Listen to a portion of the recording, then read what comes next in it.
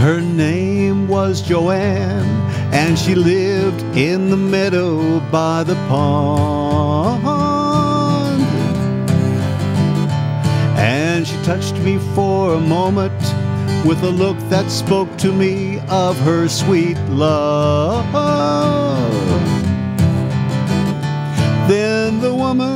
That she was drove her on with desperation, and I saw as she went a most hopeless situation for Joanne and the man and the times that made them both run.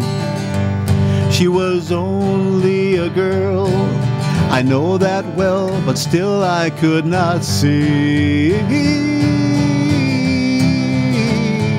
that the hold that she had was much stronger than the love she felt for me.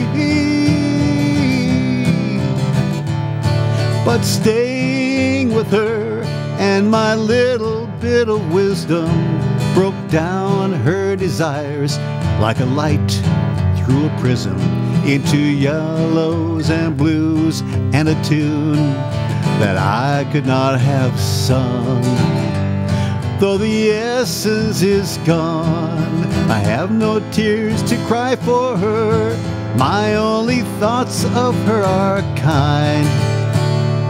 Her name was Joanne, and she lived in the meadow by a pond.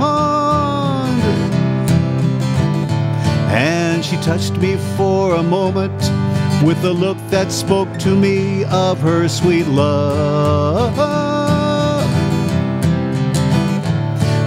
Then the woman that she was drove her on with desperation, and I saw as she went a most hopeless situation for Joanne and the man and the times that made them both run. For Joanne and the man and the times that made them both run.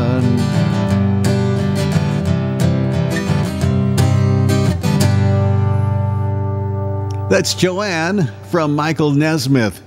Until next time, bye bye.